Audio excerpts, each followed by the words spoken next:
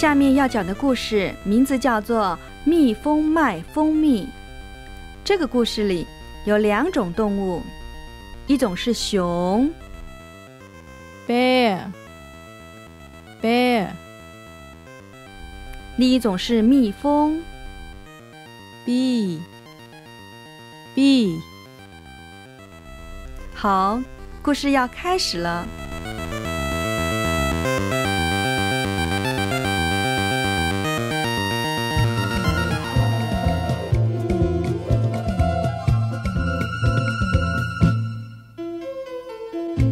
有一群 bear 在树林里野餐，他们准备了蜂蜜蛋糕、奶油面包以及可乐、汽水，好多好多好好吃和好好喝的东西。当所有的东西都吃完了，他们就开始玩游戏。所有的 bear 都玩得好开心啊，可是 B 却不开心。他们非常的生气，因为每一次贝尔举行野餐，就把 B 辛辛苦苦做成的蜂蜜都拿光了。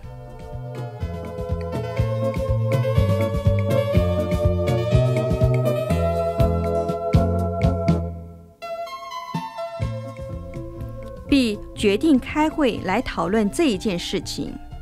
有的 B 建议说，大家去攻击贝尔。有的 B 建议说，把蜂蜜藏起来。最后决定先找贝尔谈谈再说。于是就派了一只 B 去找贝尔，把 B 他们开会讨论的事情告诉了贝尔。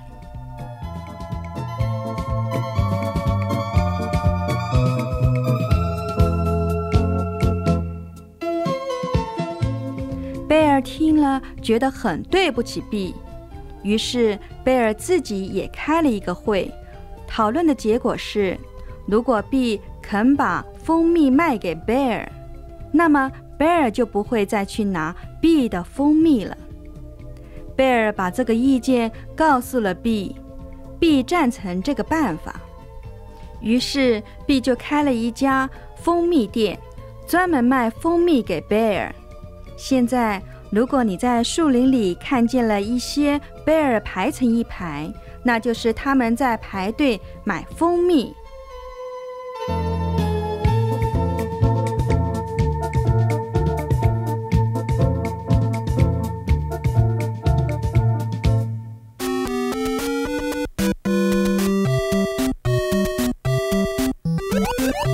小朋友，蜜蜂卖蜂蜜故事讲完了。我们来复习两种动物的名字，请小朋友跟在后面念：熊 （bear）、bear；蜜蜂，bee，bee。